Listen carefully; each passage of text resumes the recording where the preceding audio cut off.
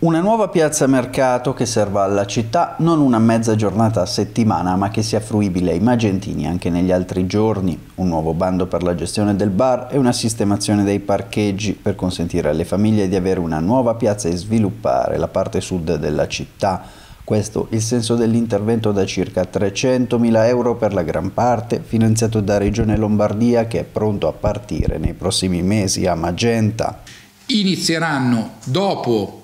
il, eh, la scuola, la fine della scuola, e finiranno entro l'inizio della scuola.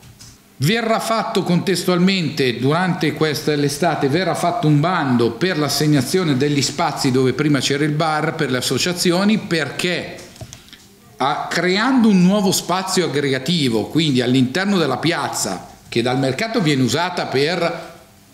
mezza giornata alla settimana, noi vogliamo che quella piazza sia fruibile, quindi un nuovo spazio per nuove iniziative che l'amministrazione vorrà fare, per nuove iniziative che il privato vorrà richiederci di fare,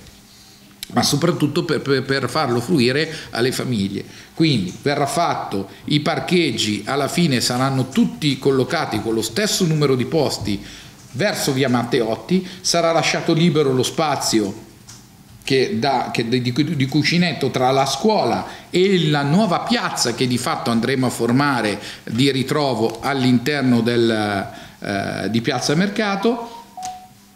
e questo proprio per, insieme all'associazione che vincerà il bando, per poter far